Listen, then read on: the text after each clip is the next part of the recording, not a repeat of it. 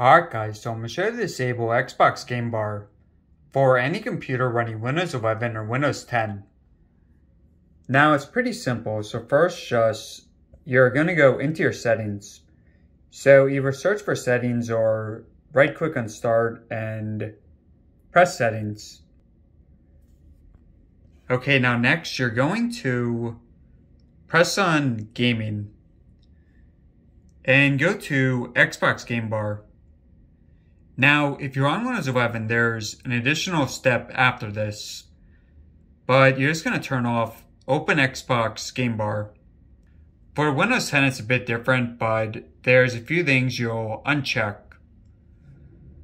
Alright, now for Windows 11, you're also going to go into Apps.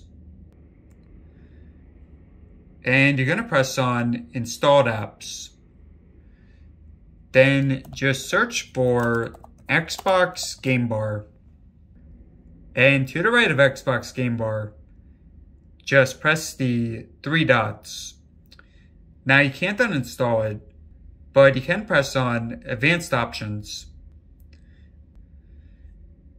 Then you're going to scroll down to Background Apps Permissions and change this to Never.